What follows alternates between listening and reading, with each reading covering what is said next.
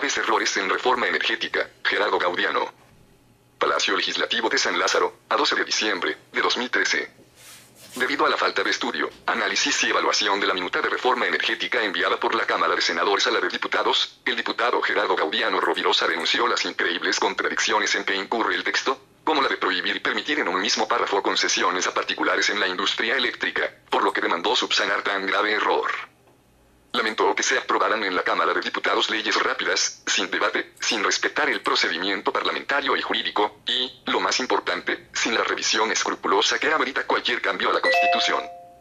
Advirtió que tal comportamiento induce a la destrucción de las normas sociales que regulan la convivencia y el equilibrio entre los habitantes de una nación, lo que se agrava aún más al devolver el petróleo de todos los mexicanos a las compañías extranjeras expropiadas por el presidente Lázaro Cárdenas del Río el 18 de marzo de 1938.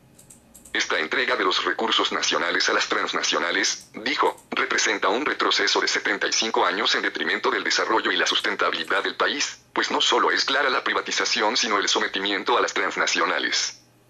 Recordó al constituyente de 1940, en el artículo 27 de la Constitución hasta ahora vigente señala que respecto al petróleo y los hidrocarburos no se expedirán concesiones y que la ley reglamentaria definirá la forma en que la nación llevará a cabo la explotación de estos productos.